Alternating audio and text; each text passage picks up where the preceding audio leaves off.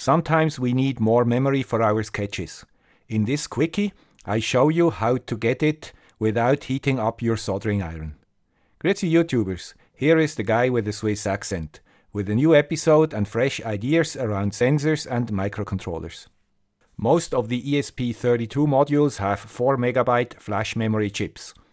But if you look at the usable memory size, you only get about 1 megabyte, which is roughly one quarter of your flash memory. With a Blink sketch, this is no problem. It only uses 13% of the available space. But if you use the simple BLE server example, which is just a few lines long, it occupies already 85% of your flash memory. If you add some other libraries, you quickly get an out-of-memory error. Where is the 3 megabyte memory we paid for? Do you remember the words SPIFFS and OTA from the ESP8266? SPIFFS is a simple file system which was already available on the ESP8266. In the right upper corner you find a link to the video and OTA means update over the air. Both are very handy if you need them, but they need memory space. With the ESP32 there is a simple way to find out how much they use and also to change their size.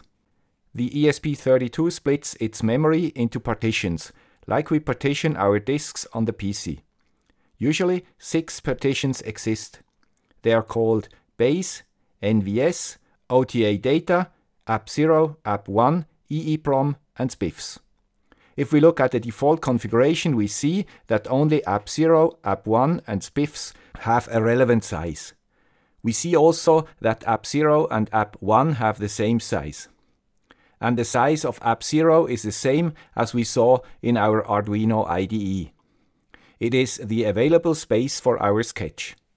Both have to have the same size because during an OTA update the ESPs first load the whole new sketch in the app1 partition. Only if it knows that everything went well, it copies the new sketch into app0, the partition where your sketches reside.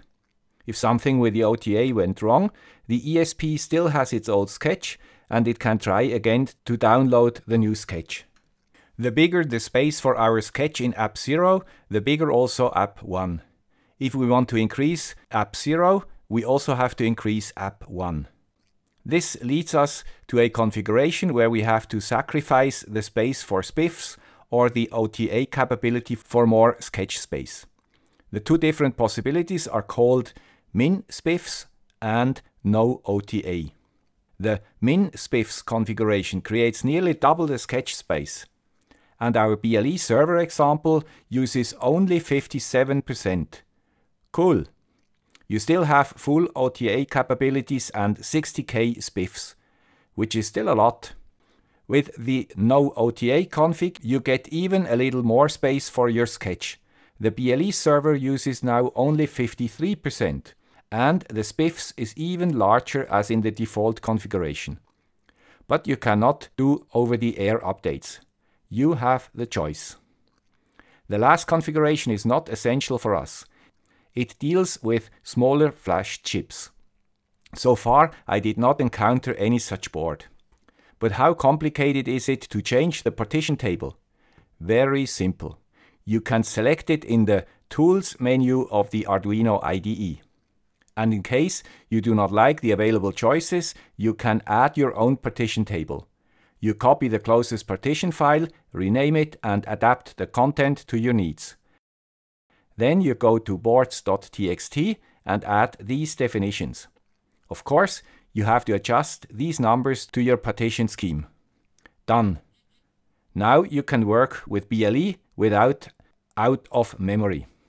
I hope this quickie was useful or at least interesting for you. If true, please consider supporting the channel to secure its future existence. You find the links in the description. Thank you. Bye.